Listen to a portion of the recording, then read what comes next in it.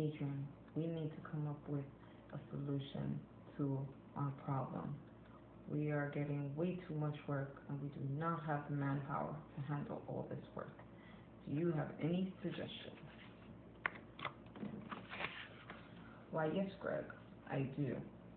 I think that we should implement a robotic processing system.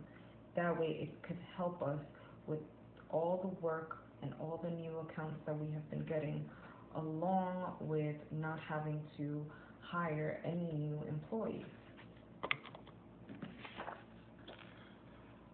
But how do you think the current employees will feel? Do you feel that they are that they will feel like they're getting replaced? No. I think that if we work with them and have them work with the processing system side by side, I think it, they would make a great team. They will not feel like they were being replaced, and the workload will get tackled, and everyone will be happy.